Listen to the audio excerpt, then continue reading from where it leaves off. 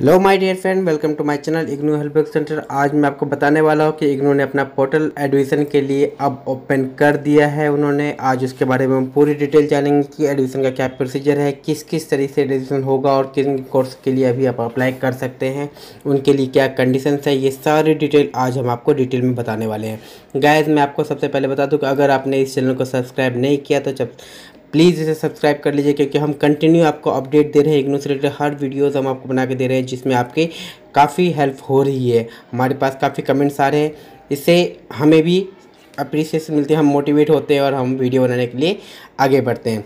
चलिए गाइज़ हम बताते हैं आपको कि अब एडमिशन के लिए क्या प्रोसेस सबसे पहले तो हम इग्नू के होम साइट पे जाएँगे IGNOU dot A C dot in पर यहाँ पर जाके आप नॉर्मली फ्रेश एडमिशन के देख सकते हैं फ्रेश एडमिशन के अब यहाँ पर हम पोर्टल जब जाते हैं यहाँ पे लिखा welcome to admission portal July 2021 क्योंकि अब जो सेशन है वो जुलाई 2021 का स्टार्ट होगा।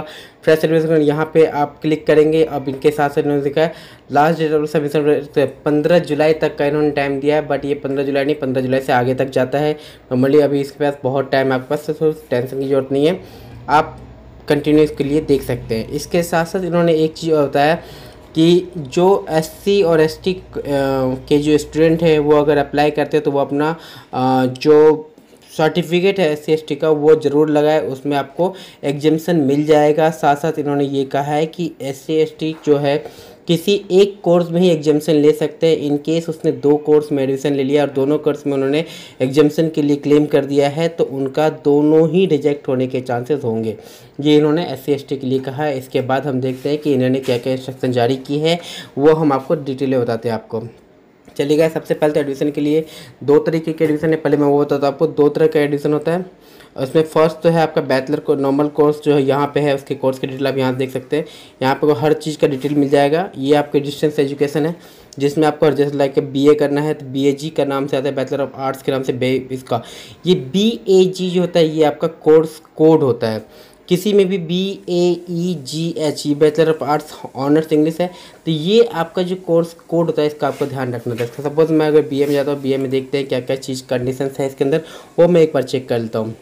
डिग्री प्रोग्राम है, डिस्टेंस एजुकेशन है इसके बाद थ्री इयर्स का है मीडियम हिंदी इंग्लिश दोनों है और इसका कोर्स का नाम जो है बी है। इसके अलावा ये सब नॉर्मल चीज़ है, ये आपको कुछ खास नहीं, इसका रीजनल सेंटर हर एक किस किस रीजनल सेंटर अवेलेबल है, ये चीज़ ने बताया है। ये चीज़ आपके बीए के लिए दिया है इन्होंने कि बीए के लिए ये चीज़ है। सपोज़ मैं अगर एम कॉम की बात करता हूँ एम कॉम भी एक बार चेक करते हैं। मास्टर ऑफ़ कॉमर्स इसके लिए कंडीशन एक बार चेक करते हैं। मास्टर ऑफ़ कॉमर्स दो साल का कोर्स होता है। दो साल का कोर्स है ये। मास्टर स्टडीज़ है ओपन लर्निंग कोर्स है कॉमर्स स्टूडेंट है। इनके लिए है एलिजिबिलिटी कौन है? एलिजिबिलिटी वो है जो आप बी एफ़ सपोज़ अगर मास्टर्स में है तो किसी भी डिग्री प्रोग्राम ने आपने कर रखा है तो वो आप एलिजिबल है उस कोर्स को करने के लिए। कोई भी डिग्री फ्रॉम कोई भी रिकॉग्नाइज यूनिवर्सिटी से आपने कर रखा है तो आप मास्टर के लिए एलिजिबल होती है। इसके साथ साथ C W A C S C M A या पी जी या P G D I B O जो कर रखा है, उनको सिर्फ़ सेकेंड ईयर में डायरेक्ट एडिशन हो जाएगा। जस्ट लाइक कि सी ए है सी एस है, उनका डायरेक्ट एडिशन हो जाता है। इसके अलावा फ़ी स्ट्रक्चर की बात करें, उन्होंने फ़ी स्ट्रक्चर के बारे में बता रखा है कि इसका पंद्रह हज़ार रुपये फ़ीस है। फ़र्स्ट ईयर आपको सेवेंटी फाइव थाउज़ेंड रुपीज़ देना होगा seventy five hundred rupees plus two hundred rupees आपको पे करना होगा फ़र्स्ट ईयर के एडमिशन में रजिस्ट्रेशन फ़ीस। रजिस्ट्रेशन एक स्टूडेंट का एक ही बार होता है, इसलिए आपको फ़र्स्ट ईयर में सेवेंटी सेवन हंड्रेड देंगे। और उसके बाद जो सेकेंड ईयर है, उसमें सिर्फ़ आपको सेवेंटी फाइव हंड्रेड ही लगेंगे। तो ये इन्होंने दे रखा है, इसके साथ साथ इन्होंने रीजनल सेंटर दे रखा है। ये जो फ़ीस स्ट्रक्चर है, ये हर कोर्स का डिटेल में दे रखा है डिटेल में कि कहाँ पे क्या है। सपोज़ मैंने थोड़े पहले आपको बी के बारे में बताया था। चलिए हम बी में भी एक बार देखते इसके लिए क्या फ़ीस स्ट्रक्चर है। बी का फ़ीस स्ट्रक्चर हाँ यहाँ पे दे रखा है इन्होंने।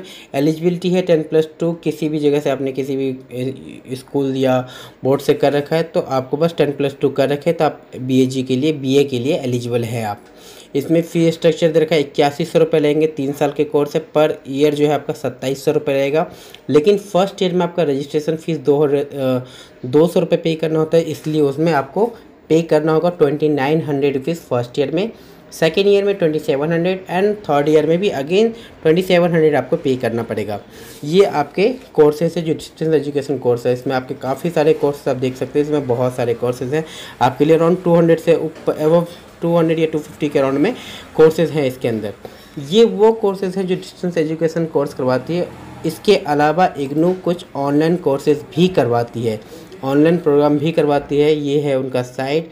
इनका साइट अलग है I O P dot IGNOU dot और sorry I O P dot IGNOU online dot A C dot in ये इग्नू की ऑनलाइन प्रोग्राम है, जो कि इग्नू ऑनलाइन ही करती है। इसमें इस साल, पिछले साल तो कम कोर्स थे, लेकिन इस साल अगर मैं कोर्स की बात करूँ तो इन्होंने सोलह कोर्स लॉन्च किए हैं जो कि ऑनलाइन कोर्सेज के लिए एलिजिबल बिल्स है B L I S S ये आपका पहले भी डिस्टेंस एजुकेशन था, अब इसमें ऑनलाइन भी डाल दिया उन्होंने। इसके अलावा ये सब आप कोर्स देख रहे हैं।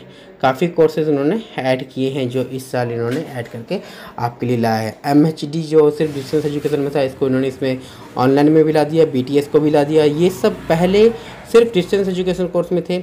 अब इसको यहाँ पे भी दे दिया ऑनलाइन में भी कर सकते हैं। ऑनलाइन में नॉर्मल से बात है, इसके बारे में और डिटेल जानना है सपोज़ एम है ड्यूरेशन एलिजिबिलिटी चेक करते हैं तो ये मास्टर कोर्स है। कोई एज लिमिट है नहीं मतलब मास्टर कोर्स है तो आपको बैचलर की डिग्री होनी ज़रूरी है। हिंदी कोर्स है ये मीडियम क्योंकि कोर्स ही हिंदी ऑनर हिंदी है। M A M A in Hindi तो आपको हिंदी ही है। ड्यूरेशन फ़ी स्ट्रक्चर की बात करें तो fee structure six hundred six thousand rupees per annum. Normally और इसका जो टोटल पेमेंट है वो है आपका एलेवन थाउज़ेंड रुपीज़ दो साल का कोर्स है मैक्सिमम आप चार साल में इसको कंप्लीट कर सकते हैं ऑनलाइन में। जबकि अगर मैं ऑफलाइन की बात करूँ तो इसमें दो साल की कोर्सेज है और पाँच साल में कोर्सेज कर सकते हैं। ये आपके ऑनलाइन कोर्सेज के हैं। अगर आप चाहें तो ऑनलाइन भी कर सकते हैं, अगर आप चाहें डिस्टेंस में करके डिस्टेंस में भी कर सकते हैं। डिस्टेंस में आपको बेनिफिट ये होता है नॉर्मली कि आपके क्लास कंडक्ट कराए जाते हैं सैटरडे संडे या किसी भी वीकेंड पे आपको क्लास दी जाती है। आपको अपने स्टडी सेंटर में क्लासेस होती हैं और बुक प्रोवाइड की जाती है। वहाँ पर आपको लेक्चर से बात करने को मिलती है। ये सारी चीज़ फैसिलिटी आपको ऑफलाइन क्लासेस जो डिस्टेंस एजुकेशन है उसमें मिल जाती है। बट ऑनलाइन में आपको सारी स्टडी मटेरियल, वीडियो सब कुछ आपको ऑनलाइन दी जाएँगी।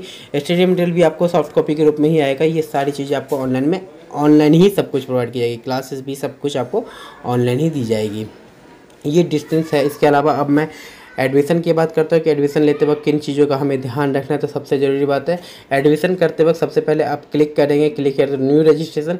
आप जब ये रजिस्ट्रेशन कर लेंगे, इसमें आपको डिटेल आएगी, नेम फुल नेम, सब कुछ आपको डिटेल देने के बाद एक login ID user ID and password बनेगा। ये यूज़र आईडी और पासवर्ड कहीं भी अच्छे से नोट करके, रिकॉर्ड करके आप रख लीजिए, क्योंकि ये आपके बहुत काम आएगा। अगर इसे बोलते हैं तो कई चीज़ों की प्रॉब्लम आती है।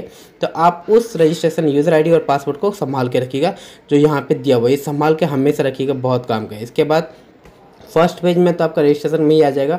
नेम आपका डालना होगा एड्रेस डालना होगा, सब कुछ डालना होगा कोर्सेज उसके बाद सेकंड में जब कोर्स के बारे में डालना होगा, कौन सा कोर्स ले रहे सब कुछ, ये सब चीज़ डालना होगा आपका डिटेल के बाद। उसके बाद हमारी डॉक्यूमेंटेशन की बात आती है। डॉक्यूमेंटेशन के लिए हमें कुछ चीज़ों का बहुत ध्यान रखना होता है। हमें डॉक्यूमेंटेशन में क्या क्या चीज़ चाहिए?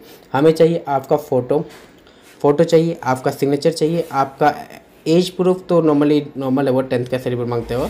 इसके अलावा आप सपोज़ मास्टर्स में एडमिशन ले रहे तो डिग्री का सर्टिफिकेट चाहिए आपका, किसी आपने डिप्लोमा या डिग्री कर रखा है कहीं से तो उसके सर्टिफिकेट चाहिए। सपोज़ आप बीए में एडमिशन ले रहे हैं तो वहाँ पे जो एलिजिबिलिटी था वो टेन प्लस टू तो टेन प्लस टू का सर्टिफिकेट चाहिए तो वो सारी सर्टिफिकेट की कैपेसिटी ने रखा है कि कितने। सपोज़ सर्टिफिकेट आपका 200 दो सौ के बी से ज़्यादा का नहीं होनी चाहिए।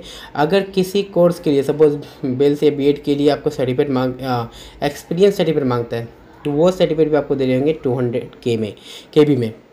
इसके अलावा कोई क्लेम करता है एस सी तो उसको आपको वो कैटेगरी के सर्टिफिकेट शो करने पड़ेंगे। उसके लिए भी टू हंड्रेड के बी का ही रखा गया है।